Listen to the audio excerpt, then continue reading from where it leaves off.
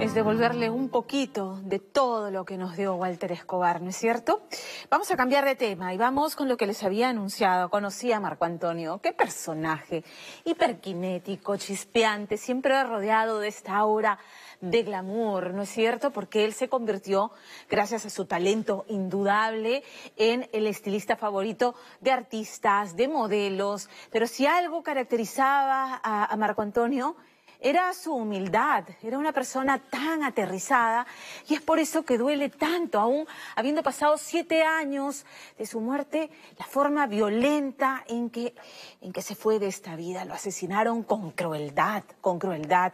Y eso le duele a quienes lo conocimos, a sus íntimos amigos, pero sobre todo, por supuesto, a su familia, a su mamá, a Maricruz, a Marianela, a sus hermanas, que continúan con el legado. Más allá del negocio de las peluquerías, el tema es continuar con ese esforzado trabajo que empezó Marco Antonio, Cabellos por la Vida, devolverle a las mujeres que han eh, padecido del cáncer y que han perdido el pelo, devolverles un poquito, ¿no? Esa autoestima golpeada, mellada, una peluca hermosa, gracias a Cabellos por la Vida. Fernando Díaz, y un reportaje que no puede dejar de ver.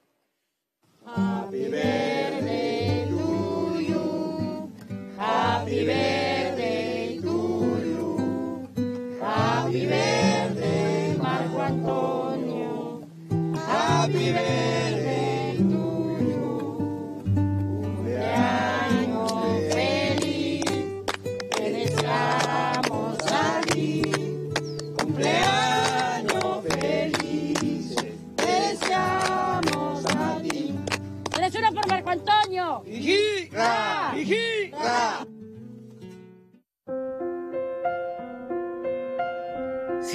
vivo habría cumplido 50 años y seguramente habría irrumpido en la fiesta con el pelo pintado de dorado.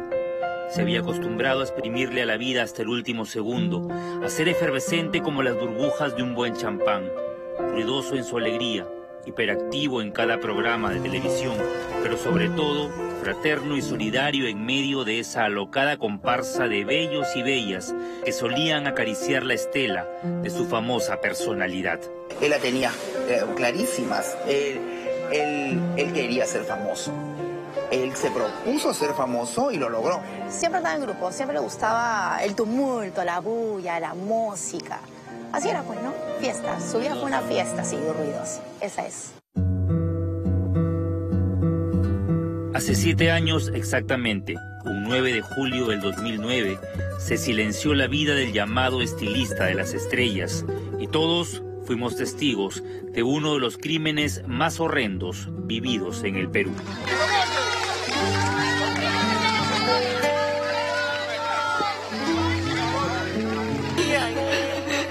Un personaje querido por muchos, el peluquero que celebraba la vida en cada aparición, moría asesinado a manos de su propio amigo.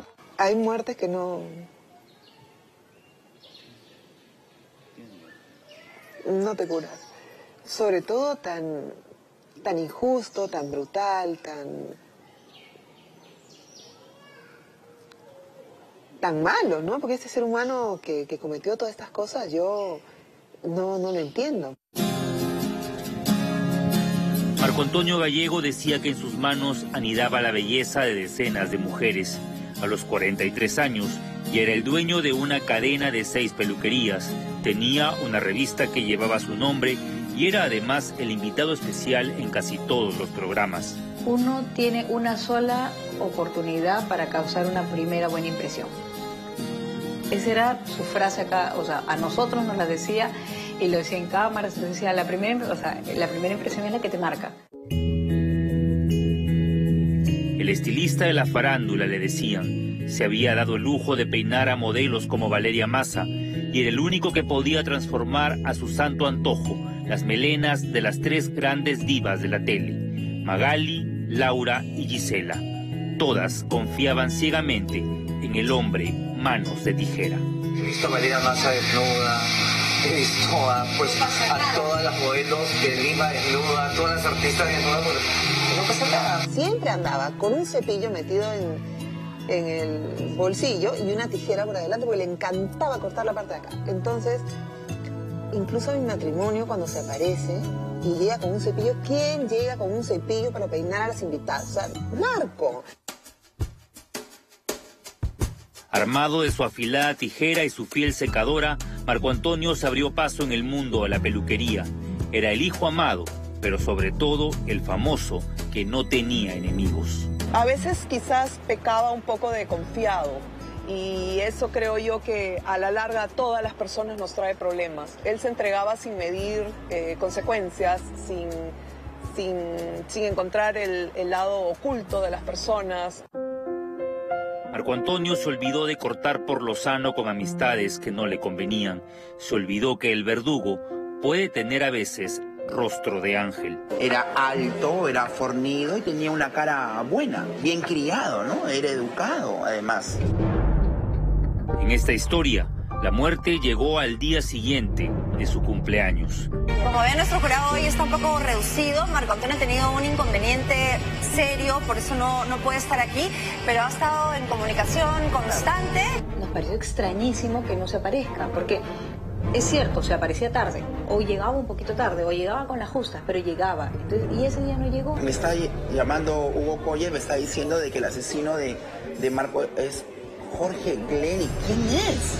Coco. Coco. Entonces, claro, pues le decíamos Coco todos, ¿no?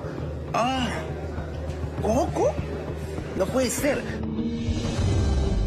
Jorge Glenny fue el asesino confeso de Marco Antonio, el amigo, el examante, aquel quien junto a Jordan Pacheco y Miguel Velázquez, luego de golpear, torturar y maniatar al estilista, no solo le robaron objetos de valor, sino que acabaron con su vida. Señor Armando Marcantino, lo hemos encontrado muerto. Se su departamento.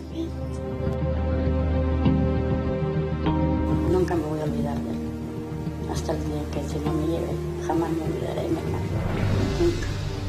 Porque lo amé bastante. Lo amé mucho. Quiso ser peluquero como su padre. De él aprendió el arte y la fascinación por engalanar a la mujer y volverla una verdadera reina. No, así es, así es. Déjame crear, déjame crear. Era increíble. Es una vez me dijo, ¿qué te parece si te ponemos como Beyoncé? Dije, ¿tú estás demente? Así nos repetía a todas, aunque nos dejara calvas, porque a veces nos hacía unos cortes así medio exóticos y me decía, no, se te ve bella. Tenía esquina, era calle pero elegante. Su barrio de Monserrate le dio las armas, pero en su ADN habitaba la clase y el glamour, al punto que jamás generó anticuerpos a pesar de su homosexualidad. No era chillón. Y como no era chillón, él podía permitirse presentar el novio en televisión y que la gente mm, más eh, estirada lo apruebe. ¿no? No, no lo vea mal. Abandonó la medicina para emigrar del Perú, peló pollos en Santiago de Chile y regresó con la mirada puesta en ser el mejor estilista. Si le gustaba a alguien, lo tenía, lo tenía, si quería trabajar, lo tenía, quería a los auspicios lo tenía, la gente lo adoraba. Era un experto marquetero, tenía muy en claro que la melena más preciada de la tele era rubia. Fue así como trabajó con Gisela. De pronto su fama subió como la espuma. Había nacido el nuevo gurú de la alta peluquería. La historia principal es que él se hizo, se reinventó, lo consiguió y se mantuvo. Y fue el mejor y hasta el día de hoy no veo ni de lejos a otro como él. Han pasado siete años, pero a pesar de las lágrimas, el fuego de Marco Antonio no se ha extinguido. Su legado se extiende cuán largos son los cabellos por la vida. Hacen llegar de esta forma, son de 15 a 20 centímetros para poder mandarnos nosotros a hacer la elaboración de cada peluca. Maricruz y Marianela son las hermanas de Marco Antonio, sobrevivientes a una tragedia. Han sacado adelante las peluquerías dejadas por el estilista, pero además son las herederas de un trabajo único, recolectar todos los cabellos posibles para devolver un poco de autoestima a mujeres víctimas del cáncer, mujeres como Fiorella.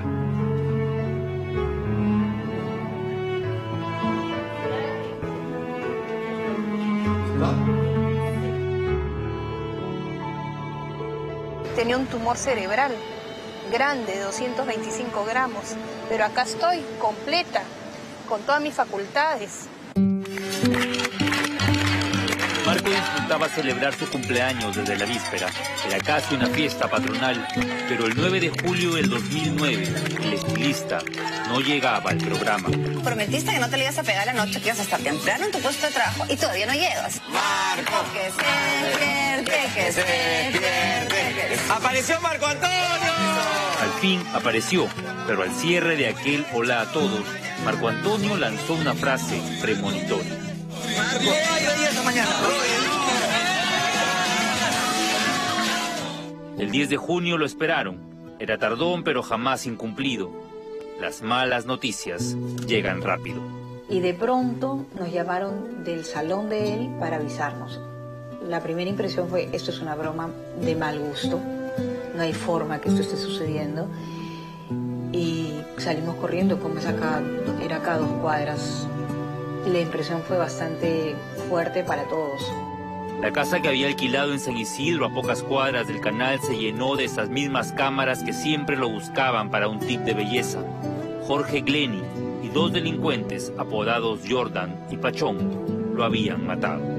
Fue y es de terror. De terror. Pero bueno, yo tengo. Tengo muchos. Tengo muchos recuerdos. Muchos lindos, lindos travesuras que hemos hecho juntos. Pero es inevitable no. No tener pena o impotencia, rabia. De que gente te arrebate la vida de un momento a otro y le quite a la familia el privilegio de tener a un, a un ser querido de la peor forma.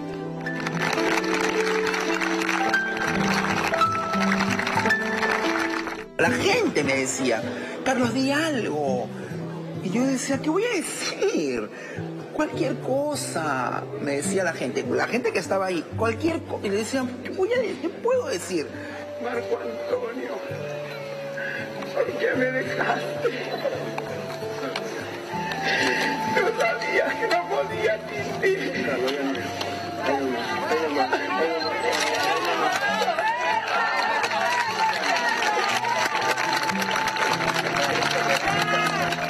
Las reinas de belleza lloraron, las modelos clamaron justicia. Se dijo que fue un crimen de odio, pero luego se supo que el móvil fue el dinero. Una muerte absurda, un dolor enorme que no lo calma, ni 30 años de prisión. Para mí mi hijo no está muerto. Parece que ya un largo viaje, que cualquier rato va, voy a encontrarme con él, o va a venir, o ya me va a llamar. En el cementerio de Huachipa, una madre decora la tumba de su hijo querido, mientras Marianela, la niña que acompañó las travesuras del hermano mayor, hace un salud con su rubia favorita. 50 años, Marco Antonio. Edad de oro, que se cumple más allá de la muerte. ¡Tres una por Marco Antonio! ¡Hijita! ¡Hijita!